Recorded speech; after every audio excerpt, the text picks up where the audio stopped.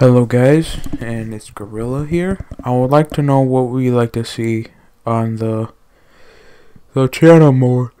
Would you guys like to see GTA, Infinite, Rainbow, ARK, Overwatch, Smite, or Revolution? I don't have Battlefield. I do not know why it's on there.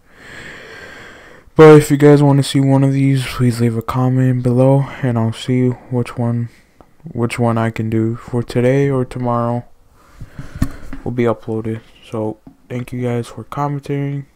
That means a lot. And I'll see you guys later.